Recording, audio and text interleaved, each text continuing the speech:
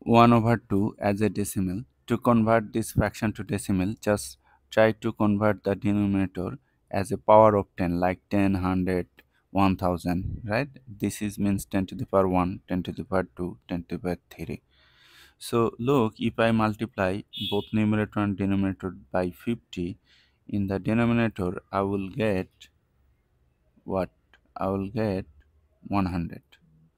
Now count the number of 0 in the denominator.